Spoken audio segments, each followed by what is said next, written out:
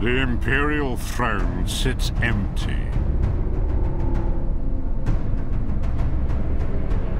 The dragonfire's cold, unlit, and from every corner, darkness grows. Now, ancient enemies band together. Unlikely alliances are forged. Old ambitions rekindled. And as enemies rise faster than allies, salvation cannot come from one hero alone.